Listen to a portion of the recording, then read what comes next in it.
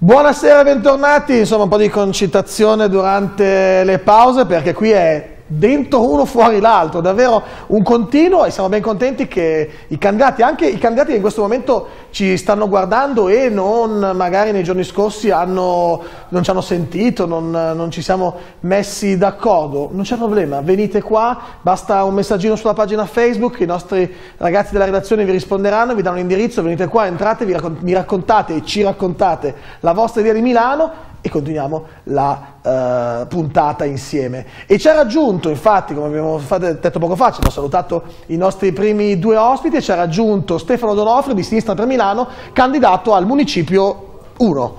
Benvenuto, Grazie. buonasera, Grazie. anche per lei come per i suoi colleghi precedenti, dietro il microfono i suoi 30 secondi di presentazione.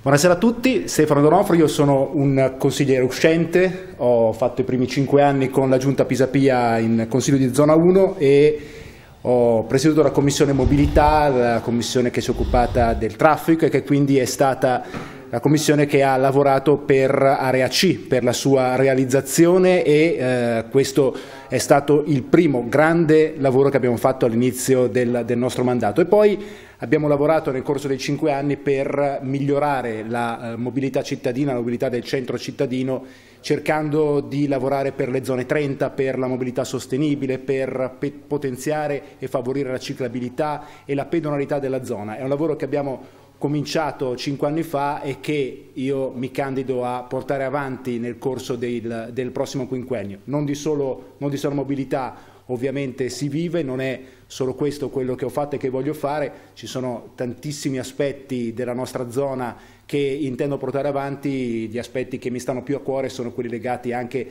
alla cultura e a una sostenibilità della cultura, perché che, che si ne pensi il nostro centro, nonostante sia la zona più frequentata della città, soprattutto durante il giorno e la sera solo in alcune zone, è in realtà una zona che ha tantissime potenzialità culturali, parlo di teatri, di cinema, eccetera, che devono essere ancora di più valorizzati, soprattutto pensando ai più giovani che quella zona la frequentano, soprattutto di giorno perché frequentano le scuole e le università e che invece di sera bene, la abbandonano. No, Eccomi. secondi si è preso un paio di quarti d'ora, ma va benissimo, no scherzo, perché si può comunque sedere qui con noi e andiamo avanti invece a parlare, perché stavamo parlando, proprio il suo microfono è lì di fianco a lei, stavamo parlando poco fa, prima che eh, arrivasse, proprio di mobilità, quindi anzi è arrivato a pennello e giustamente Camera Giulia era il suo turno e quindi eh, volevo appunto lasciare la parola a lei sul discorso noi siamo partiti dal, come abbiamo preso ad esempio, l'area pedonale del Castello Sforzesco.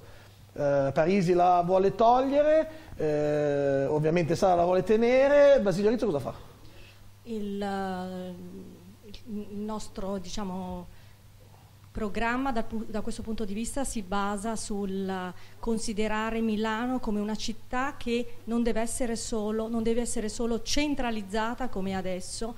Abbiamo una periferia molto importante che come abbiamo detto prima è stata spesso dimenticata. Abbiamo una provincia che ormai fa parte di un ambito territoriale molto più eh, importante che quello della città metropolitana. Non dimentichiamo che noi adesso andiamo ad eleggere anche il prossimo sindaco della città metropolitana.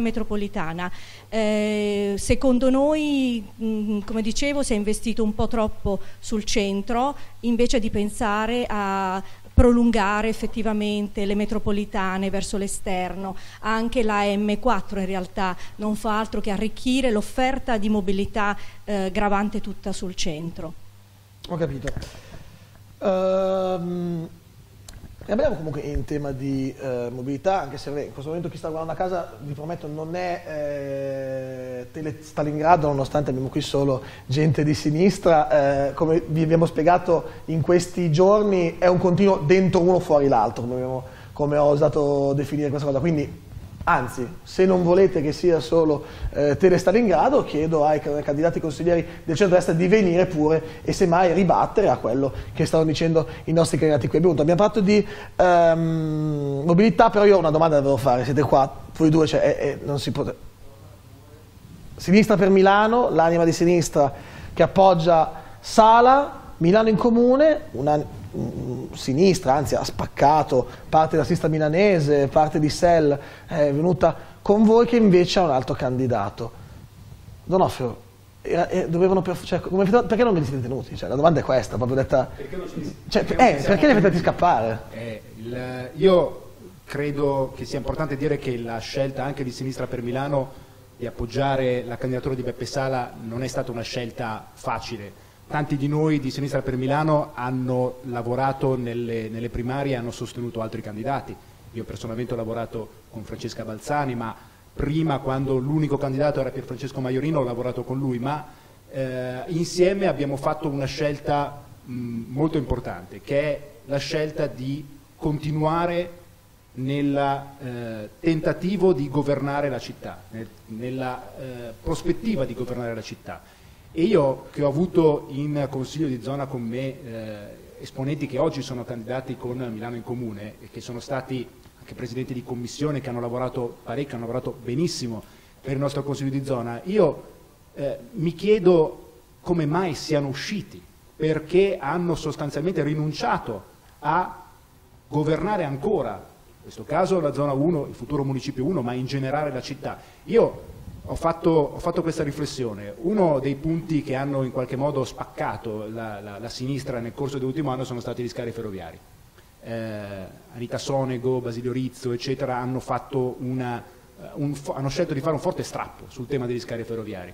Ma quello che mi dico io è, se sinistra per Milano, eh, se, scusate, eh, sinistra per Pisapia eh, che attualmente possiamo ricondurre nell'alveo di Milano in Comune fosse stata l'opposizione in questi cinque anni, la sua posizione contro gli scali ferroviari non avrebbe avuto nessun valore, nessun peso. Okay. È proprio il fatto di essere stato in maggioranza che ha permesso comunque di ragionare nuovamente, di rimettere in discussione il tema degli scali ferroviari, che tra l'altro è ritornato in discussione anche nell'anima che appoggia Beppe Sara della sinistra e che quindi può ritornare a essere un tema eh, di, della, della, politica della città, cosa che non sarebbe successa se eh, Sinistra per Pisapia fosse stata già all'opposizione. Quindi io credo che la nostra scelta di rimanere e di essere l'anima della sinistra che tira, che cerca di orientare, che cerca di governare le politiche della, della futura, auspichiamo, maggioranza eh, che avrà come Beppe Sara come sindaco sia quella giusta, sia stata la scelta per continuare a governare la città.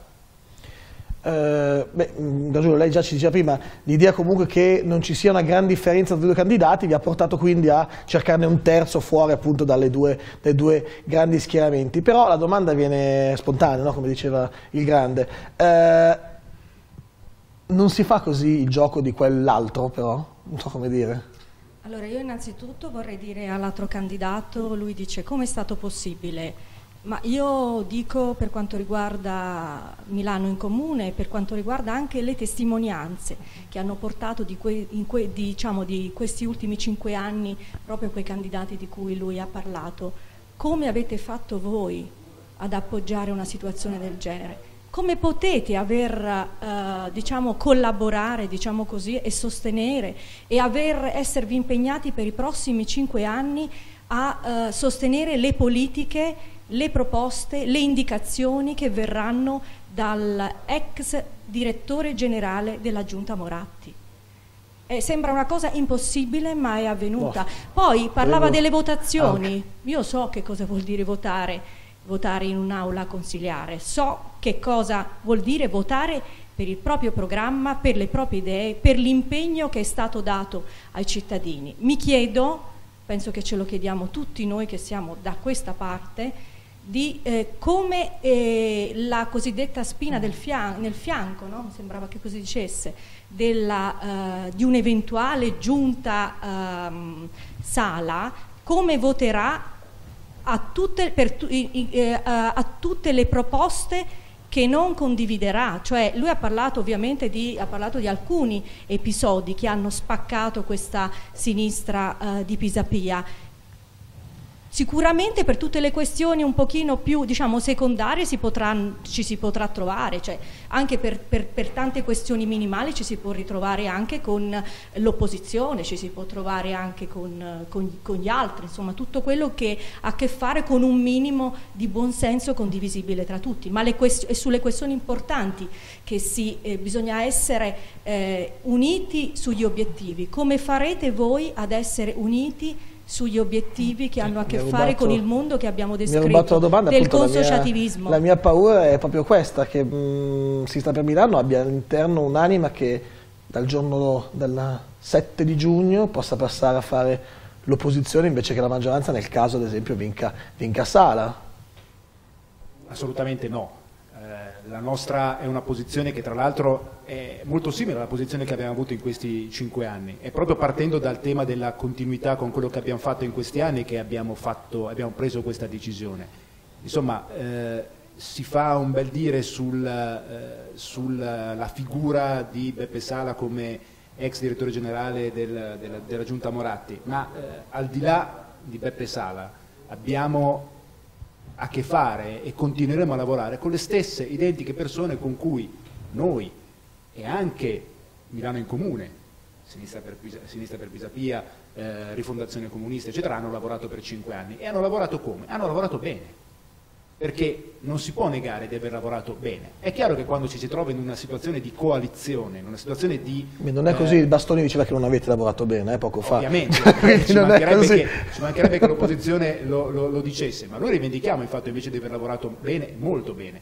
Ma eh, è chiaro che quando ci si trova in una situazione di coalizione e soprattutto quando ci si trova in una situazione di coalizione in cui la propria percentuale di voti non è tale da essere egemoni all'interno di una coalizione, beh, bisogna cercare di far, eh, di, di, rendere sempre più forte la propria posizione nei limiti ben, con, ben conosciuti e di cui si è ben consapevoli, eh, dentro i quali si può lavorare ci si può, e ci si può confrontare. Quindi il nostro obiettivo non è assolutamente quello di fare da tappetini, il nostro obiettivo è quello di eh, governare le scelte, di essere determinanti nelle scelte, di orientare le scelte ed è chiaro che lo faremo con lo spirito di coalizione che è lo stesso spirito che ci ha permesso di lavorare, okay. ripeto ancora una volta, bene nei cinque anni appena passati.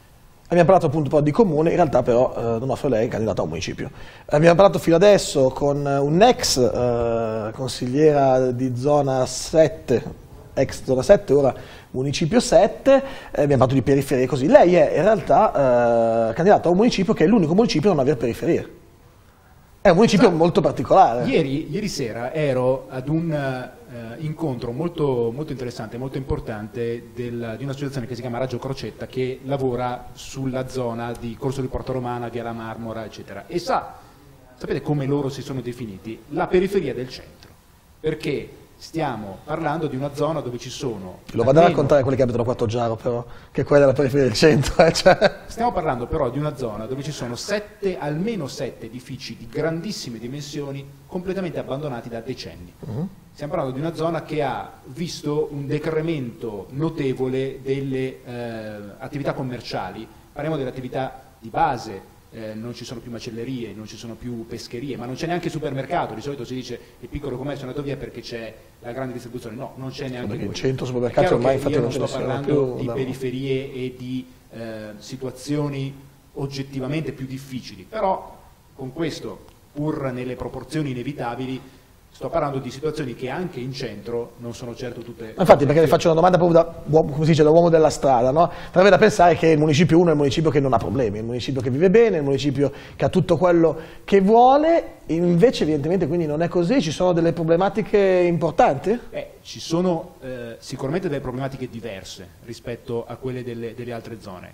però bisogna tenere conto di una cosa, che il centro cittadino, pur essendo una zona dove vivono eh, 80-90 mila persone, quindi la metà rispetto alle altre zone della città, che in effetti è anche una zona più piccola, è comunque una zona che durante il giorno si popola di, eh, decuplica la sua, la sua, popolazione di fruitori, di Quanti residenti ha, scusi, la zona 1, il municipio 1 mi diceva? 91.000 okay. quando ci sono state le elezioni del 2011, okay. adesso onestamente non, non, non, so quale sia stato, stato il gap, ma credo che sia addirittura diminuito eh, perché infatti. questo è sicuramente un, un problema. Quindi senza voler parlare di questo come un problema gravissimo, certo l'invecchiamento della popolazione e quindi anche la necessità di servizi per persone che d'età e quindi hanno bisogno di certi servizi ovviamente aumenta, ma io sto dicendo che invece il eh, discorso, la peculiarità del centro del municipio 1 è quella di dover essere una zona non soltanto attenta ai suoi residenti e alle persone che ci vivono, ma soprattutto attenta alle persone che quella zona la frequentano Se ci sono in, in centro, nel municipio 1, se ci sono l'ospedale policlinico, l'ospedale Fetta Bene Fratelli, l'ospedale San, eh, San eh, Giuseppe, il Gaetano Pini, l'Università Cattolica, l'Università Statale e decine di altre scuole e eh, servizi di ogni ordine e grado, il Tribunale e quant'altro, significa che bisogna stare attenti a moltissime situazioni e problematiche che eh, ovviamente rendono molto più complesso il lavoro anche all'interno del municipio che se viene sempre visto come il luogo di eh, riscontro immediato tra il cittadino residente e la politica, il primo luogo di confronto, ma in realtà deve essere un luogo di confronto non soltanto col cittadino residente ma anche con tutti coloro che qui vengono e vivono. Se pensiamo per esempio al tema eh, che è brutto definirlo così, ma ormai è questo eh, il suo nome, della Movida. Uh mhm. -huh questo è un problema per il centro, per il Municipio 1. Se parliamo dell'economia di San Lorenzo, del, dell'Arco della Pace eh, e, o di altre situazioni magari più localizzate, poco conosciute, ma che comunque esistono, come Piazza Sant'Agostino, che eh, vive una situazione di oggettivo degrado dopo il, il, lunedì sera quando ci sono centinaia di giovani che, che, che la frequentano e che non sono residenti ma che vengono da, da fuori è, ovvio che noi ci troviamo a che fare, ci troviamo a doverci confrontare con delle situazioni comunque problematiche. Ciò non toglie che ovviamente stiamo parlando di situazioni molto diverse sì, sì, rispetto sì. a problemi che invece vengono vissuti in altri quartieri eh, come ovviamente le zone che... Avete un problema di immigrazione anche voi in un certo senso, no, potrebbe dire... Detto così sembra, è, una, è una provocazione, ovviamente. Modo, però è chiaro che qui stiamo parlando di valori. Ovvio, ovvio. Dal mio punto di vista in ogni caso si parla di valori quando si parla di immigrazione, in questo caso parliamo di valori aggiunti per la città e per il centro che ovviamente devono essere governati eh, Gagiulo, lei candida è candidata al comune, quindi in realtà una risposta la possiamo dare su certe problematiche, no? Mi sembra giusto quello che ha detto il candidato, ovviamente fa discor un discorso molto ragionevole. ritornando, quando lo ascoltavo, eh, pensavo anche a quello che erano state le risposte della domanda precedente, per cui io mi chiedo, e gli chiedo magari se posso farlo, come si concilia questa logica, questo ragionamento sulla prossimità, sul benessere dei cittadini, sulla questione delle attività commerciali che devono essere, le piccole attività commerciali da curare, eccetera, con, ritornando, mi dispiace, ma purtroppo noi questo modello dell'Expo non riusciamo proprio a dimenticarlo, come si concilia invece con tutto quello che è successo all'Expo, con eh, la grande fiera delle multinazionali? Non mi sembrava che Sala fosse stato particolarmente accorto a questi aspetti, eh, non mi sembrava che... C'era eh, Cascina Triulza, non mi sembra, no? non... è stata un po' di greenwashing, diciamo non... così. Scusate. Sorride, Poi beh, è una piccola parte sicuramente dell'evento, cioè l'evento chi è andato all'Expo non ricorda la Cascina Triulza, chi è andato all'Expo ricorda le grandi insegne delle multinazionali, eh, ricorda no, i tanti ristoranti. Non è così un po' però in tutti ricorda, i grandi eventi, cioè, mi immagino che scusi, alle Olimpiadi forse sarebbe scusi, uguale. Scusi no? un attimo, ricorda purtroppo la brutta vicenda degli appalti che eh, non, hanno, eh, non sono stati governati secondo le logiche sacrosante della concorrenza del mercato mm. e questo sicuramente poi eh, va a uh, svantaggio, a discapito dell'economia, del mondo delle imprese, delle piccole imprese. Eh, come, no, come si concilia questo prego, prego, modello così attento al piccolo con... Fa, è interessante fa, questo fa dibattito. domande a un, a un futuro come, come, giornalista televisiva, anche provocatrice giustamente, perché a me dispiace un po' che la... Finte elezioni la... potremmo anche aprire magari dei casting e vedere se e vedere, passate no. di qua qualcuno di voi, benissimo. Per noi mi dispiace in qualche modo che, che, che la politica... Eh, la politica della, della, della, lista Milano in Comune con cui abbiamo lavorato e con cui, come ha detto giustamente eh, la, la, la, collega, eh, possiamo continuare a lavorare anche nel corso del prossimo quinquennio su tanti aspetti che sicuramente ci vedranno vicini perché abbiamo lavorato insieme cinque anni e quindi non si capisce perché dovremmo staccarci completamente nei prossimi cinque anni. Eh, mi dispiace che però sia tutta una, eh, una, campagna, una polemica innestata sulla figura di Beppe Sala e di quello che ha fatto come, eh, come, eh, come diciamo, eh, uomo dell'Expo e in generale del suo passato anche con la Giunta Moratti. Io, come, come, sicuramente Arturo sa, avendo, fatto, avendo, lavorato in consiglio di zona, credo che nulla sia così ehm, scontato nel rapporto tra quello che un sindaco, un candidato sindaco ha fatto nel momento in cui è stato eh, direttore dell'Expo e quello che poi verrà fatto nei comuni, nei municipi, nell'attività quotidiana sul territorio, se non per il fatto che insieme a livello di coalizione, a livello di partiti che della coalizione fanno parte, di persone che dentro quella coalizione lavorano, eh, si, si, può costruire insieme.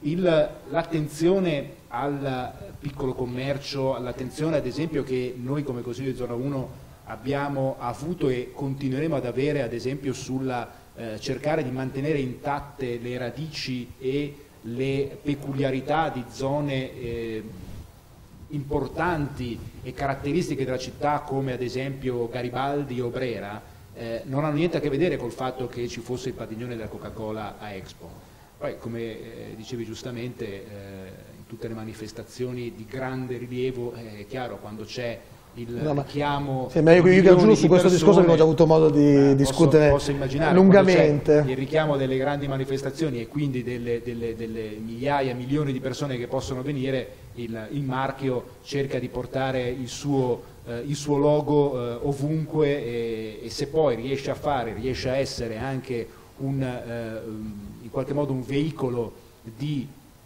eh, anche di, di, di, economia che sì, gira sì, sì, a favore perché non dovrebbe esserci. Noi riteniamo anzi di aver fatto dei buoni lavori, degli ottimi lavori nel rapporto pubblico-privato, eh, ragionando ad esempio sulle, eh, su alcune riqualificazioni di spazi che eh, altrimenti non sarebbero mai stati riqualificati anche nella stessa zona 1, grazie al rapporto tra pubblico e il privato, grazie al fatto che il privato giustamente eh, può ricevere un beneficio da una riqualificazione di un ambito e eh, se quella riqualificazione dell'ambito risponde a un'esigenza comune, a un bene comune, eh, ben venga.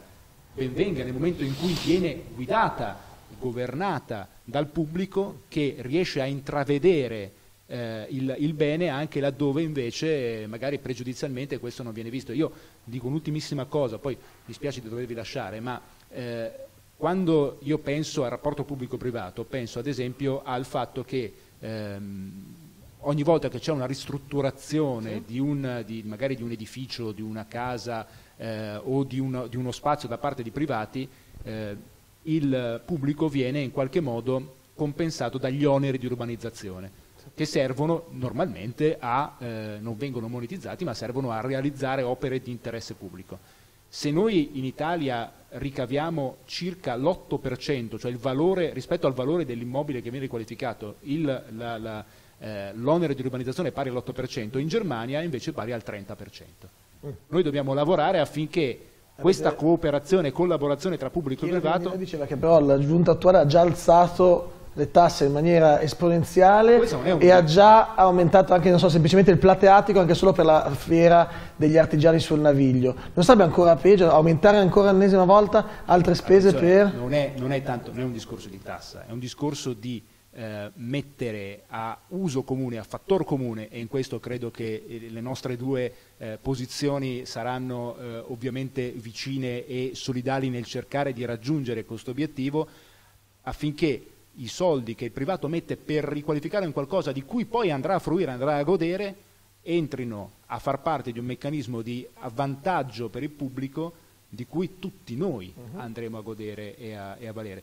Eh, il discorso dei plateatici è, è, è, particolare, noi veniamo imputati di essere stati la giunta delle tasse, ma in realtà siamo andati a eh, rimettere a posto una situazione palesemente sperequata, palesemente sbagliata, laddove eh, l'uso di eh, spazi in pieno centro, l'uso di spazi in zone di altissimo valore era parificato all'uso di spazi invece laddove eh, il, il, il valore di fruizione era infinitamente più basso. Non ho visto chiudere un plateatico in centro città, nonostante le proteste. Non ho visto nessuna serranda abbassata per il fatto che è stato aumentato il, eh, il costo del Deor e la tassa da pagare al Deor. Anzi, mi si permetta, mi si permetta questo, io eh, credo che vent'anni di deregulation sull'uso eh, degli spazi pubblici a favore degli esercizi privati insomma meno male ha trovato perlomeno non un paletto, non un, uno stop, ma ha trovato un modo affinché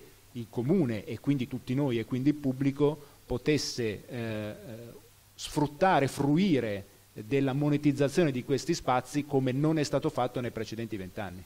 Ho capito, va bene. Ce l'ha anticipato lei, so che ci deve salutare. Gaggiulo, se lei rimane qui con noi sono contento, lei rimane ancora qua un po' con noi? Va bene, eh, va bene, va bene. Sta, sta, guardi, io sono contento se è qua, poi è qui della zona, quindi sono contento. Guardi, le chiedo solo un secondo che allora mandiamo uno stacco pubblicitario, ci rivedremo in tre minuti, non di più, e siamo di nuovo da voi con questa puntata del candidato. A fra poco.